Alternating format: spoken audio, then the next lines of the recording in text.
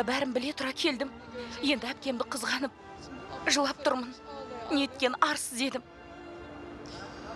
Арсызбын. Арсызбын. Сен арсыз емессің. Сен әлі баласың. Сен әлі оң солын танымаған баласың жаным. Баласың. Өмір деген қызық екен әпке. Екеумізді де өзгертті. Сен сүйкімсіз бүлдіршіннен сұлу бойжеткенге айналдың. Ал анасының еркесі әлде қашан бойжетті. Қазір тұрмыста. Жақында балалы болады. Менің арманым. Бұл сенің арманың емес еді ұмытып қалдың ба? Ол анамыздың арманы болатын. Онда неліктен? Неліктен менің көз жасым құрғамай қойды? Мен неге жылай берем? Менде бәрі бар. Бірақ менде жұлдыздардың қатарынан көрінгім келеді. Неге саған қызығып тұрмын?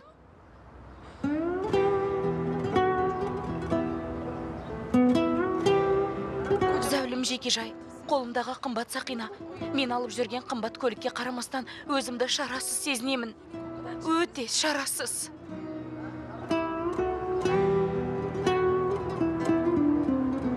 Жоқ жоқ. Менің сөзіме құлақ аспа. Арман менікі ме анамдікі ме бәрібір емес пе? Мен жақында балалы болам. Менің жалғыз арманым осы. Басқа ештеңенің керегі жоқ. Эджи. Жоқ бәрі ойдағыдай. Баламды аман есен босанып алғаннан басқа менің арманым жоқ.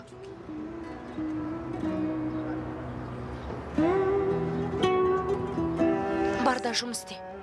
Ал мен үйге қайтам.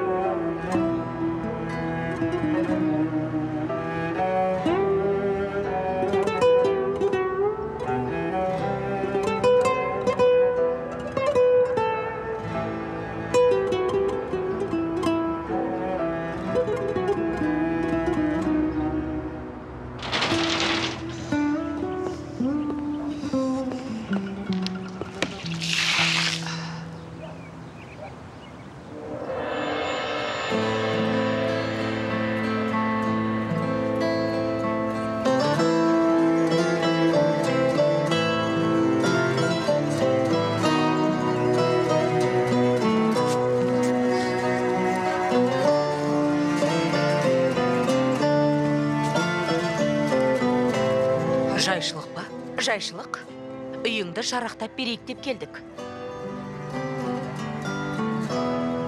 Қалай сонда? Мынаның бәрін маған әкелдіңдер ме? Саған әкелдік саған. Хасифе саған бірдеңе айтқысы келіп тұр. Сөйле. Үйің өртеніп кеткенде сен бізге ауыр сөздер айтқансың. Біз де сені оңдырмаған едік. Иә айтқаның рас. Ұялсаңдар етті. Хасефе балаңның ағаштан құлап түскені есіңде ме? Аяғын сындырып еді ғой. Есіңе түсті ме? Сонда саған бірінші болып көмекке келген кім?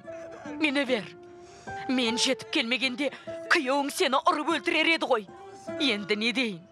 Осындай зұлмат бастарыңа келсін. Ал сендер қазір менің үйден айырылғаныма қуанып тұрсыңдар. Өтірік айтып қайтем. Сөзің жанды жерімізге тиді. Сен жекежайға көшіп кеттің. Беделді азаматтың енесі атандың. Бізді ұмытып кеткендей болдың. Ұмытпапсың қызым. Тойыңа да шақырдың. Біз не көрсек бірге көрдің. Қош келдің қызым. Біз де қоңыс екенімізді ұмытқан жоқпыз фазилет. Болды көңілі босап кетті. заттарын үйіне кіргізіп берейік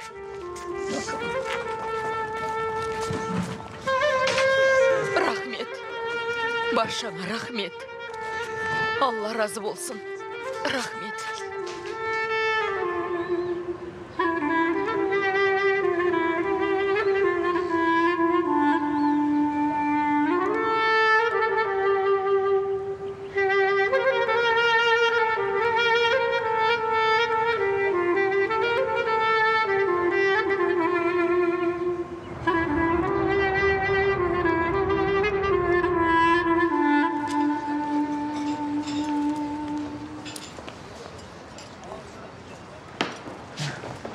Болды кеттік.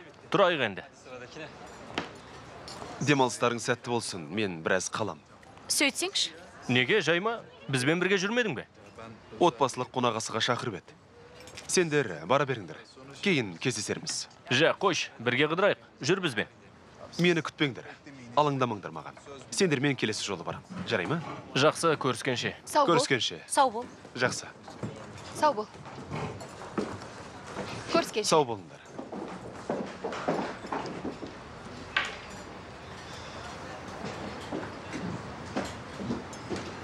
Маған жаза сал ертең төлеймін. Жарай ма? Жарайды синан мырза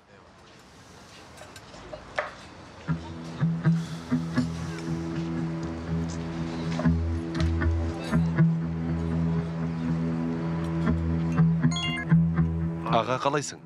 Сенан? Саған не болған? Неге хабарласпайсың? Аға менің жалақым оны көтермейді. Жүгірмек. Ағаңа ақша керек болғанда ғана қоңырау шаласың ба? Өзім де содан ыңғайсызданам маған ақша жібере аласың ба? Қанша керек? Жібермейсің. Қанша бар сонша жібер. Әкең біліп қойса өлтіреді шоқ. Аға 10-15 болса көп керек емес. Сол да жетеді. Сенан келсеңші ақшалай берейін. Әкем түбіртекті көрмесін. Жарайды аға түсіндім. Рахмет. Ренжімеш бауырым ертең кел берейін аға рахмет уайымдама көріскенше алло тұтқаны тастай салды мен оған не дедім бермеймін дедім бе не болды сен оған ештеңе бермейсің селенге бермегенде сенанға берем деп жүрмісің екеуін салыстырма екеуінің жағдайы екі түрлі селенге бермегенім әлгі есірсоқ күйеуі мен оның анталап тұрған отбасына жұмсайды.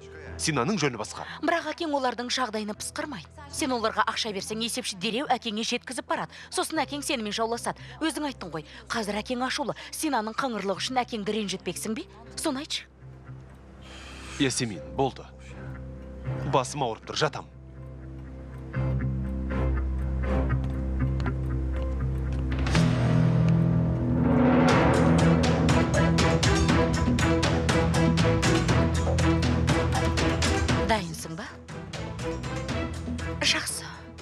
Менің қоңырауымды күт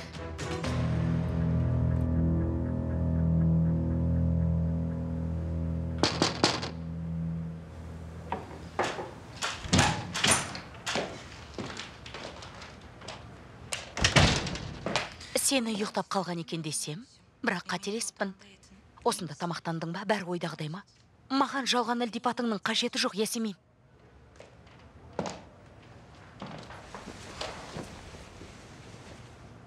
бірақ сен маған бүгін керексің.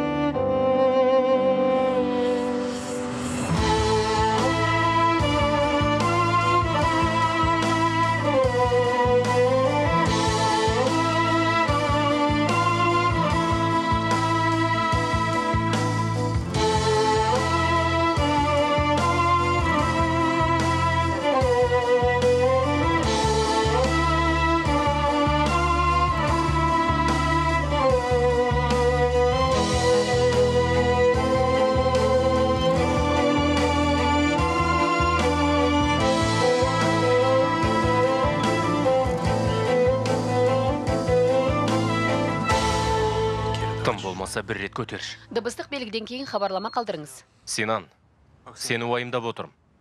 Өтінемін маған қоңырау соқшы.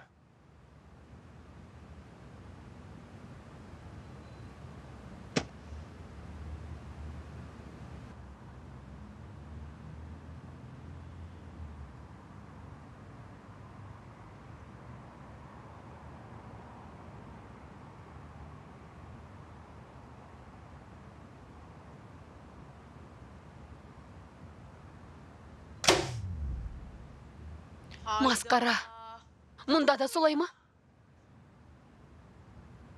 Барлық үйде жарық бар. Тек менікін өшіріп тастапты. Қол шамым қайда еді? Білте шамым да жоқ.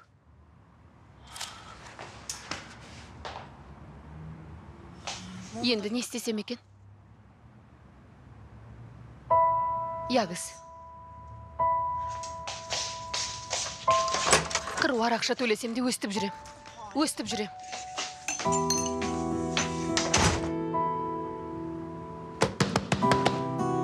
ягіз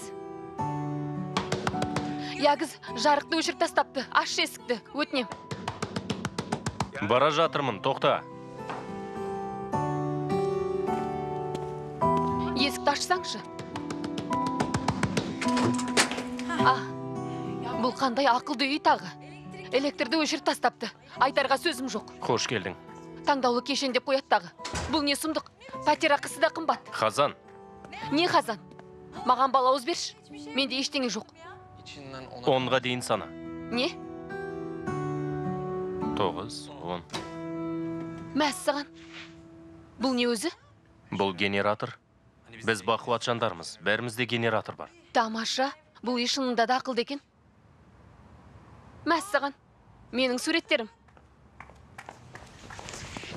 Иә жұмыс істеп жатыр едім. Мен камераға түскеннен басқаны білмеппін ғой тіпті суреттерімді де көрмеппін. Бәрі жаңа ма? Иә жаңа бірақ қазір қолым бос емес. Кофе демдеп берші. Немене? Қантсыз кофе. Қазан айтып тұрмын ғой менің қолым бос емес. Маған кофе қайнатып берші нең кетеді? Мынау не? Неткен мұңды көзқарас? Ескертпей ме? Маған айтпай ма? Бірден шығара салыпты. Қандай кофе ішесің? Қантсыз дейм қантсыз. Қантсыз. Мынау да жаман емес. Мұны неге маған көрсете бересің? Бұл суретті не істеймін? Айтшы. Себебі бұл қабырға бос тұрғанда сен гөкханмен ешқашан татуласа алмайсың. Ал оның екі інісі мүлде ештеңе білмейді. Олар естігенде не боларын құдай білсін. Онда сен алақаныңды ысқылап шынтағыңа сен ясемин. Сенсең де сенбесең де өзің біл. Маған да мына үйдегі жағдайдың шиеленіскені ұнамайды. Менің де күйеуім бар эдже. Ол ренжісе мен де ренжимін сонда біз күйеулеріміздің мүддесі үшін бірге алмаймыз ба?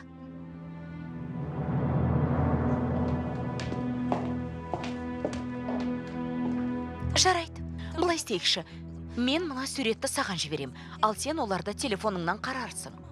Жарай ма? Сосын бір бірімізге ашуланбаймыз мен ол суреттерге пысқырмаймын да ұқтың ба? Бөлмемнен шығып тұр.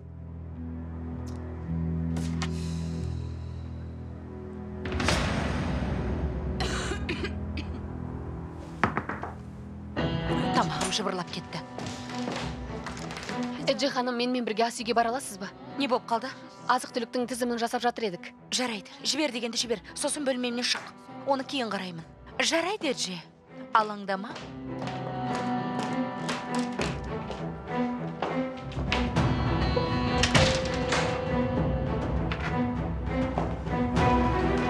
мен онсыз да керектінің бәрін жіберіп қойдым.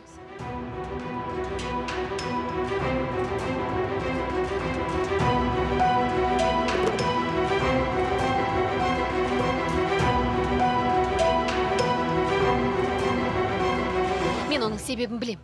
Әкем келіншегінің ығынан шыға алмай жүр. Ясин балам теледидарды өшірші басым ауырып кетті. Жылдам. Сол әйелдің кесірінен ненмен жауласа бастады. Сұр жылан ол. Барып тұрған оңбағанның өзі. Бұл мүмкін емес. Оның қызы менің жан құрбым әкем мынадей істеді. Бізді мүлде шарасыз күйде қалсын дегені ғой. Иә сен бұл эдже бүгін түнде сенімен кездесуім керек. Үйге кел. Бұл өте маңызды нәрсе.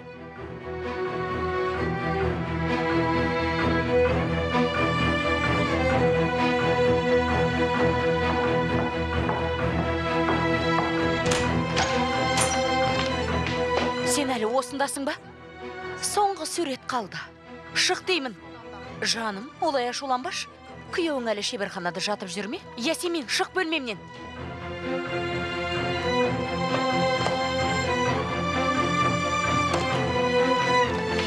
Жақсы. Тек өзің таңдаған суретіңді маған жібере сал. Бірақ ешкімге айтпа.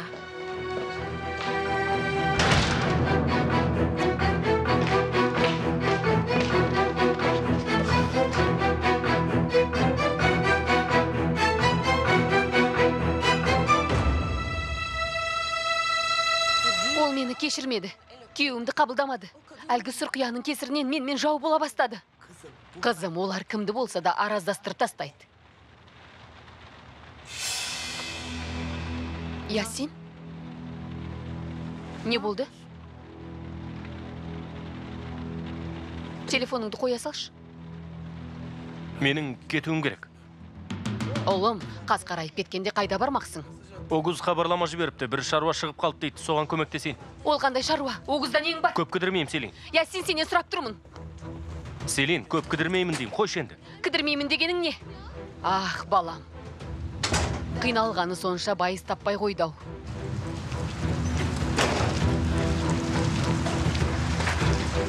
Мен не істеп кеттім?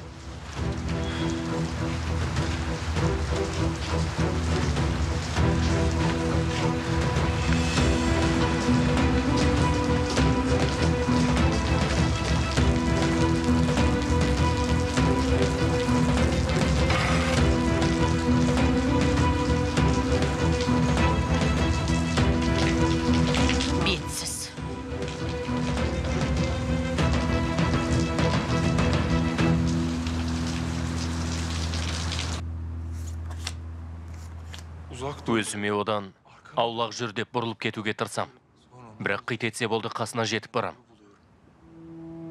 Көзім ырқыма көнбей соны тауып алады.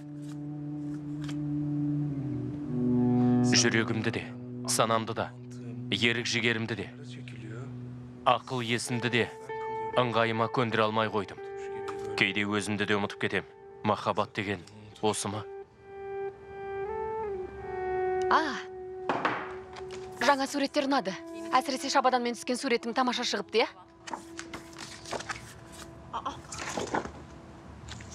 мынау не? Мұнда көзім қыли ғой. Қандай? Қыли мұны менің жынымды қоздыру үшін қалдырдың ба? Мен білмеймін. Қалай түссең солай шықты. Мен қылимын ба? Маған қарашы.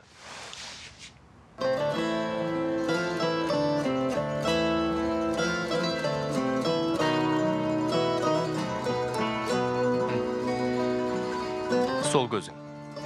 Сол көзіме не болыпты? Қитар ескертпейсің бе? Жігіттеріңе айт. Жұмысын дұрыстап істесін. Осы дұрыс па? Иә көзім қылиланып кетіпті. Мен де адаммын. Мен де шаршаймын. Өздерің ғой. Таң атқаннан қара кешке дейін жұмысқа жегіп қойған. Қылиланбай қайтсын. Қой кетейін. Үйім тиіп тұр ғой. Қайтайын. Қайырлы түн.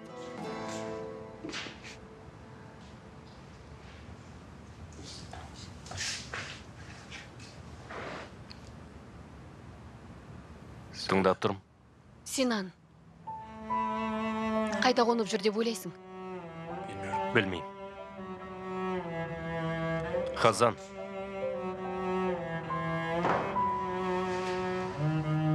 Әлгі газеттердің қиындысы. Неге қақсап қоймайсың? Әлі соны тексеріп жүрмісің? Тексермеймін. Мен сенің туысыңды да өтірігіңді де ұмытқам. Себебі одан да маңызды шаруаларым бар. Онда күндердің бір күні шындықты айтқың келгенде бірінші маған айтарсың. Жарай ма өтінем. қайырлы түн.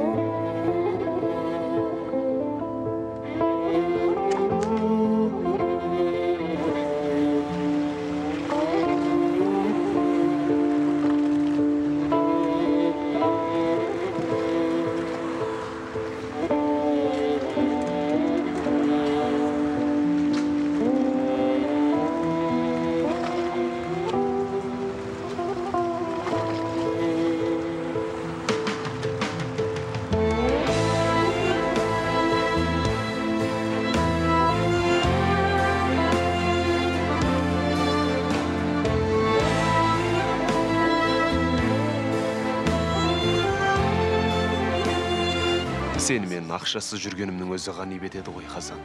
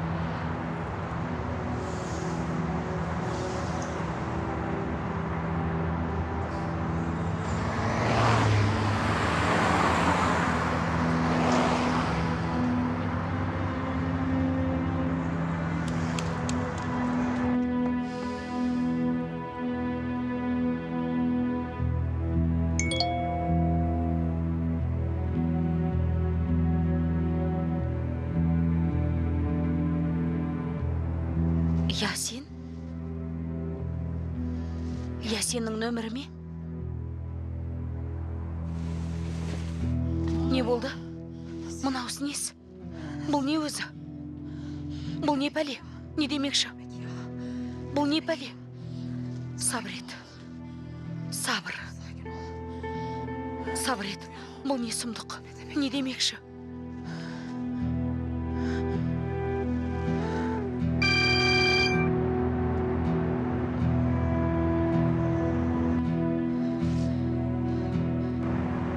Эджи?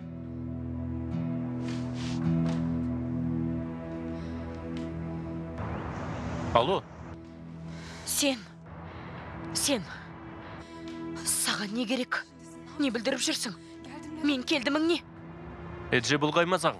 Өзің шақырдың ғой, сосын келдім. мен бе шақырған қайда шақырыппын не деп тұрсың қайда келіп тұрсың Сен не, мазақтап тұрсың ба? Хабарлама жазып шақырдың емес пе? Түннің ортасында келіп тұрмын. Ашуыма тиме. сен де менің ашуыма тиме жынымды қоздырма мен сені шақырған жоқпын деймін есің дұрыс па Маған хабарлама жібердің ғой, хабарлама. Мені шақырған сен, сосын келдім. иә сен есіңді жи мен саған ешқандай хабарлама жіберген жоқпын Сен маған хабарлама жіберіпсің. Сонда мен сенің жазғаныңды түсімде көріппін бе? Не ойластырып жүрсің? Мені мазақ етіп жүрмісің? Не керек саған? ойластырып жүрген сен ясен бірақ мен сенің ойыңда не бар екенін біліп алам Шық, шық, күтіп тұрмын. бол енді ақылсыз нақырыс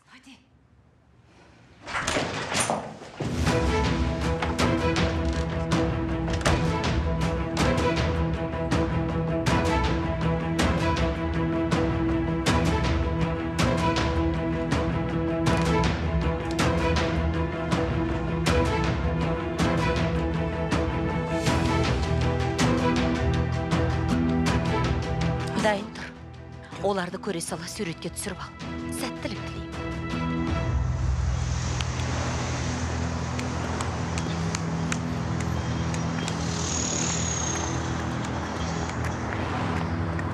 саған өзі не керек Қазір.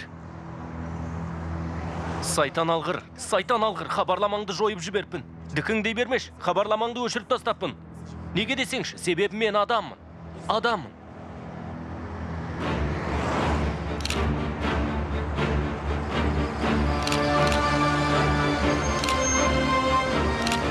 Саған хабарлама жіберген жоқпын ұқтың ба нені көздеп жүргеніңді білмеймін бірақ мен саған хабарлама жіберген жоқпын Сайтан алғыр, құрып қалғыр. Мен сенің алдауыңа түсіп қалдым. Сенің ойыңда не бар екенін кім білген? ясен ясен бізді суретке түсіріп жатыр бізді суретке түсіріп жатыр Не істеп жатырсың? болды бізді байқап қойды кеттік кеттік Не істеп жүрсің оңбаған? бол бол Тоқта! қап суретке түсіріп алды қарғыс атқырлар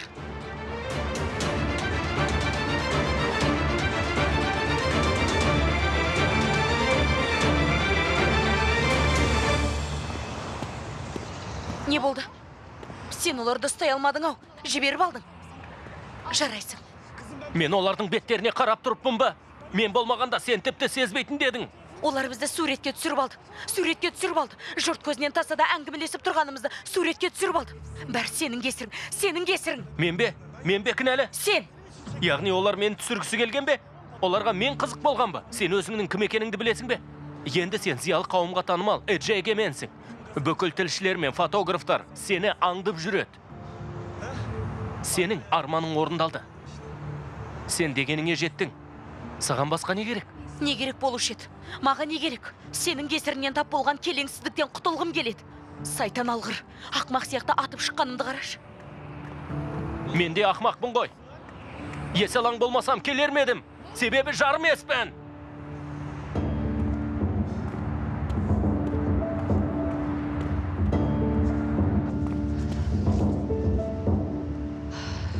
сабыр ет сабыр.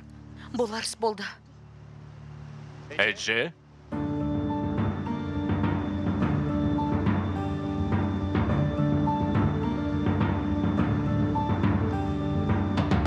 эдже мынандай уақытта мына түріңмен не істеп жүрсің? Хазым мырза менің сізбен сөйлесуім керек. Мен ол тақырыпқа байланысты айтарымды айтқам. Енді оны қозғағым келмейді. Бірақ мен эдже мынандай уақытта мына түріңмен жүргенің жарамайды. Тоңып қалсаң қайтесің қане үйге кір. Хазым мырза эдже неге түсінбейсің? Мен сенімен сөйлескім келмейді. Иә ол өзінің төсегіне жатпайды бірақ оның да намысы ар ұяты бар. Хазымның жүргізушілері мырзаның әйелі бұрынғы жігітімен бір үйге кіріп алып есікті кілттеп алыпты деп жүр. Жақсы. Қайырлы түн. Қайырлы түн.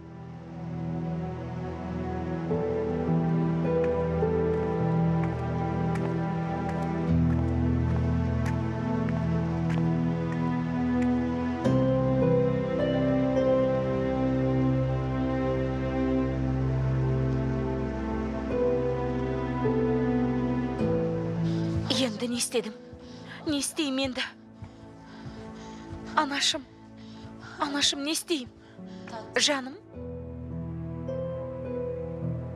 Бәрі ойдағыдай ма?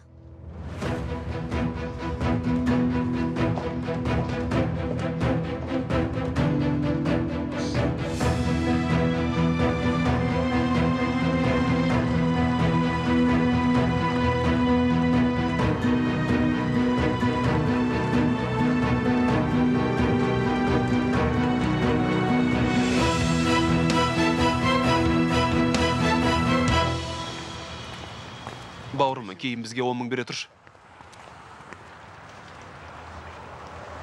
Ештеңе таппадық бауырым. Мына клубтан да қомақты ештеңе таба алмадық. Тым құрыса әлгі модель қыздың көлігінің нөмірін анықтауымыз керек еді. Жолымыз болмады. Қап қарсақ балықшыға қара. Жамылғысын жамылып тәтті ұйқыға кетіпті. Балықшы болып кетсек пе екен а?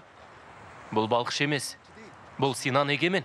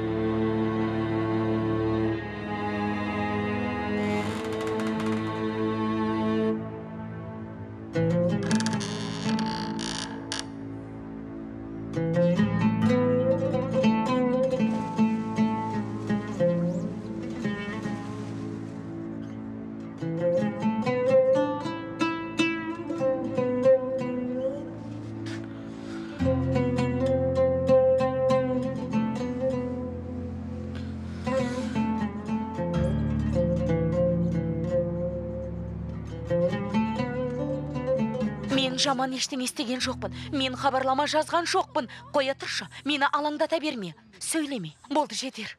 Сенің әбден көңіліңді көтерген шығармын. Мен дәл қазір барамда күйеуіммен сөйлесем. Өкінішті ақ күйеуіңді ренжітесің. Сендер әлгі портреттен кейін әлі тіл табыса алмай келесіңдер. Мұны өзіміз реттеуіміз керек. Мұның бір амалы болуы тиіс. Мен не істей алам? Қай газеттен екенін білгендерінде.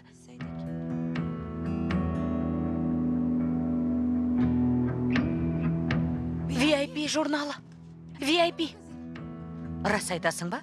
Иә өзім көрдім олар көлікпен жүр екен. Артында үлкен таным белгі іліп қойыпты. Жаным сенің жолың болды. Не болды? Не істеп жатырсың? Болды сөйлей берме сәлем халің қалай? Менің саған кішігірім бір өтінішім бар. Бүгін бізді сендердің жігіттерің ренжітіп кетті. Егер бұл отбасына қатысты мәселе болмағанда өтінбеген болар едім. Өзің де білесің соңғы кезде біздің үйден тыныштық кеткен. Біз тағы бір жанжалды көтере алмаймыз. Сондықтан әлгі суретті жарияламай ақ қойыңдаршы. Өтінем өтінем.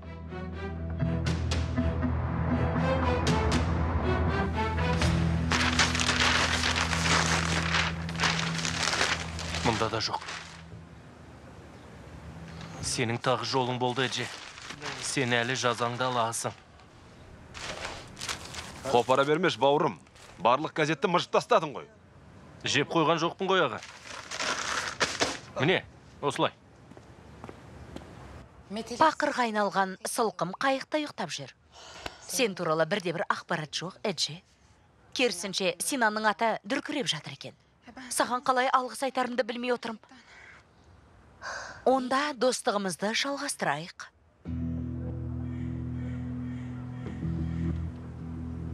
Маған көмектескенің үшін бе ясемин неге мені құтқарып қалдың? Себебі біз дұшпан емеспіз эдже саған осыны қанша рет айтып сендіре алмай қойдым ғой. Біз осы жекежайдың мойындалмаған келіндеріміз. Біз бір бірімізді демеуіміз керек иә екеуміз кейде түсінісе алмаймыз бірақ ол үшін достығымызды тәрк етпейік мен саған сенгім келеді сен рас айтасың ба көзіңді жеткізем бұл біздің достығымыздың бастамасы болсын маған сен көзің жетеді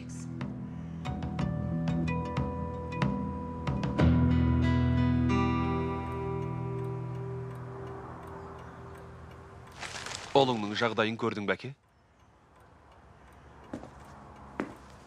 синанның әдеті емес пе? Ол әу бастан сондай ерке. Бұл еркелік емес әке. Бұл деген кедейлік. Інім арақ құмарлар сияқты көшеде қонып жүр. Сенің бұған көңілің селт етпей ме әке? Аз жалақыға өмір сүріп үйренгенде бәрі ұмытылады. Аз жалақыға? Бұл ақшаны синан бір ақ сағатта жаратып тастайды. Онда барға қанағат етіп кедейшілікте өмір сүре тұрсын. Бұдан былай солай болады солай болады болды. Қазым жүрші серуендеп келейік. Сабреш екеуміз біраз сөйлесерміз. Менің бауырым тапшылыққа ұшырап көшеде жатқанда әкеме қосқан ақылың осы ма? Гөкхан жетер. Не жетер әке? Не? Жетпейді жетпейді деймін зиратты біз аштық. Синаның қатысы жоқ. Бірақ зардабын синан тартып жүр. Неге? Ханымның ашуы басылу үшін бе?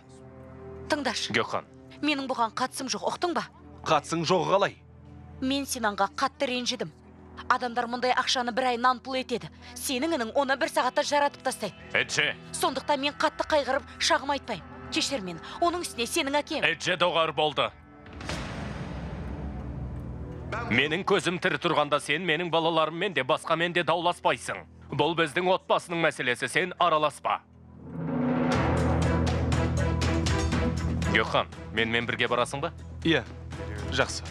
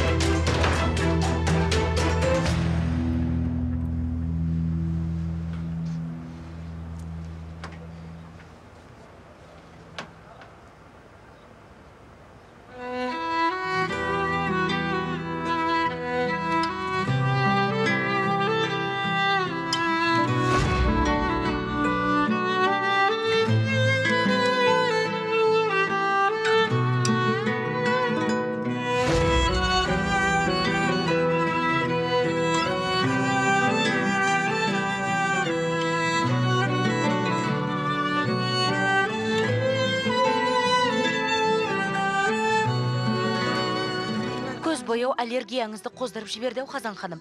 Көзіңіз қызарып кетіпті. Иә аллергиям шығып кетті. Онда жуып тастайық.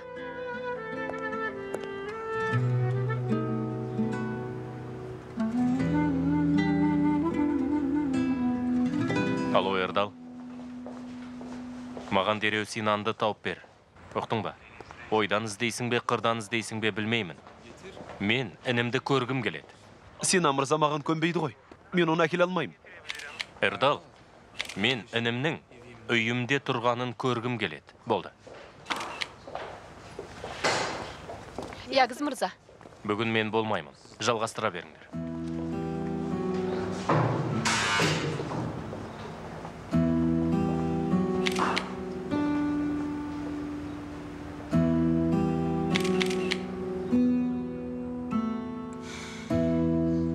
Аузымды ашсам болды жазғырып шыға келеді. Сендердің алдарыңда сөгеді иә білем ол портретке қатысты оқиғаға ренжіп қалды. Бірақ менің еркін тыныс алуға мұршам болмай қалды ясемин. Мәселе портретте емес жаным. Күйеуің науқас сияқты. Мұнымен не демексің? Эдже мен мұны бұрын да түсіндірмек болғам. Сенің күйеуің жалғастырсаңшы менің күйеуім.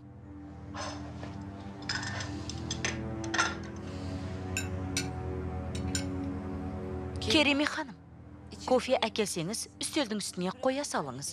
Өзіміз құйып ішеміз. Әрине.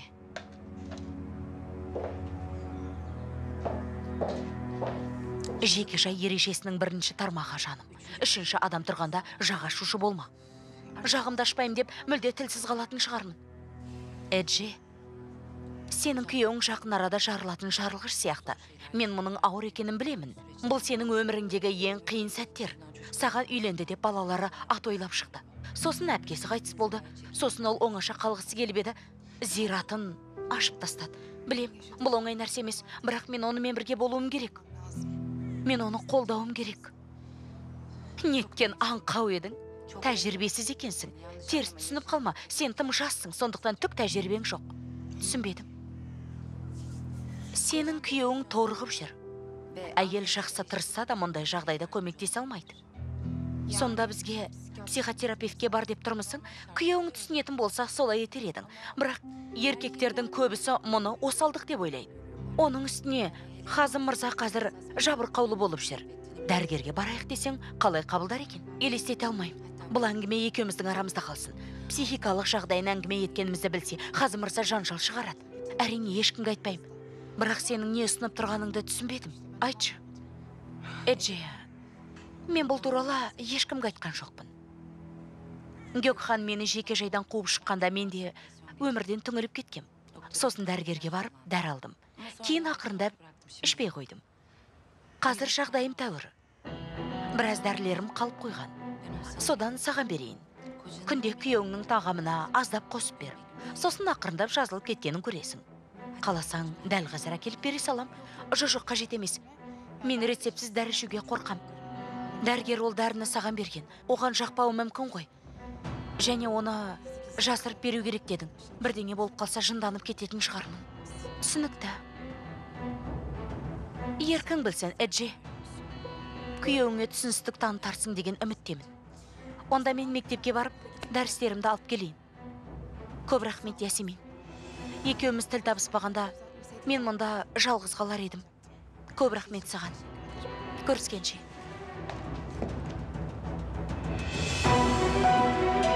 Яғни тағы бір қысуым керек екен. Енді аз қалды. Не туралы сөйлескендерін білмеймін. Анау әйел тым адуын. Қызыңды жүргізетін емес. Қонақ бөлмеге кіріп бірдеңе істейін десем мені желкелеп қуып шықты. Ох жирен шашты көк құтан. Менің қызымды айналшықтап жүр ме? Әй сол қоймайды ау екеуі ауыз жаласып алыпты. Кеше кешкісін жатын бөлмеде сыбырласып отырған бүгін тағы қонақ бөлмеде күбірлесті. Кереме өтінем олардан көзіңді алма әрбір қадамын аңды жақсы жақсы алаңдама. Кіммен сөйлесіп отырсың кереме? Фазилет ханыммен. Халдерің қалай деп сұрап жатыр. Мен ол сүйкімсіздің жағдайын сұрамаймын. Менің атымнан сәлем айтпа. Сәлем айтып жатыр. Жақсы жарайды мен кеттім. Бүгін мен демалам кереме. Жақсы ма? Жақсы. Келтеңшан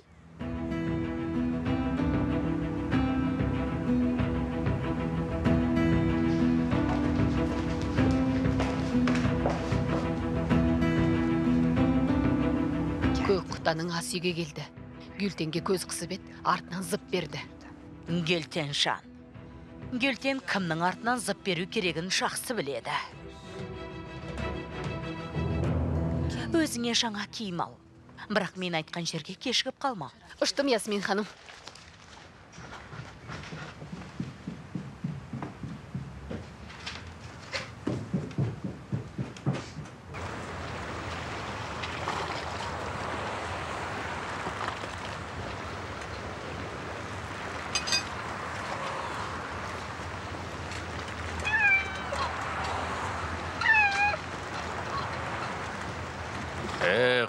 жүгірмек сенің арқаңда менің қайығым танымал болды.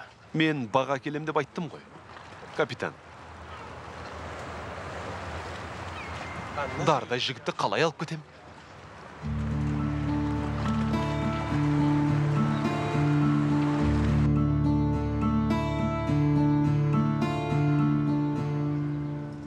Жаным қабығын қалың етіп ашыпсың. Картопты олай тазаламайды алдымен шашыңды жина.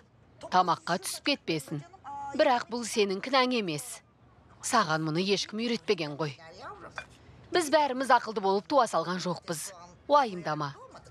Шүкірия анаң саған бәрін үйретеді.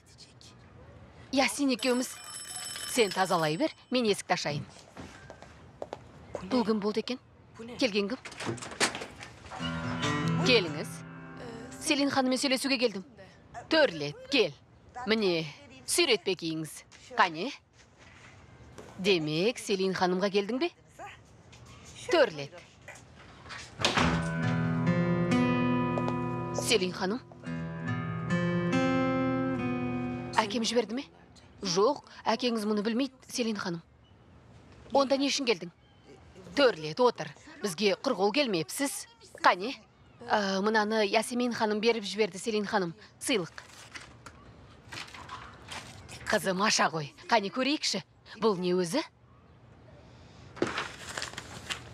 А қорабы да тамаша екен.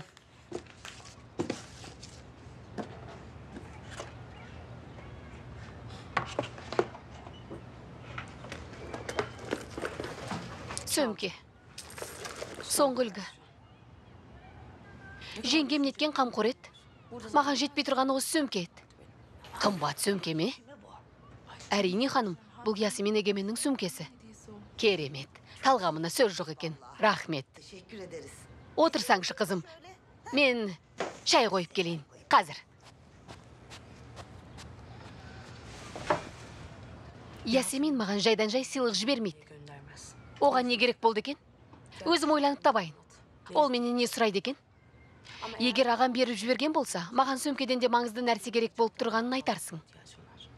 Мен бәрін көрдім селин ханым. Қалай мұндай жағдайға ұрындыңыз? Болды жетер. Шайыңды іште кет ясемин ханым мені сізге жібергенде қуанып кеттім. Сізді көргім келіп жүреді. Мұнымен не демексің кеше түнде күйеуіңіз жалғыз өзі біздің үйдің жанына келгенде шошып кеттім. Ясинді айтасың ба? Түннің ортасында біздің үйдің маңайын торуылдап жүрген. Сіз білмейсіз бе? Сенімдісің бе? Басқа біреумен шатастырып тұрған жоқсың ба? Жоқ селин ханым сіздің сары шашты күйеуіңізді басқа біреумен шатастыру мүмкін емес. Шатасқан жоқпын. Ясин мырзаның дәл өзі. Не үшін барды екен міне шай әкелдім. Мархабат. Іше ғой. Жақсы рұқсат болса мен кетейін. Басқа шаруаларым бар еді. Тым құрыса ауыз тисеңші қызым. Келесі жолы ішем. Сау болыңыз селин ханым. Жақсы қызым. Келіп тұрыңыз. Келінімнің жеңгесін ерте кел. Сыйлығыңа көп рахмет. Иә жеңгең текті әйел екен.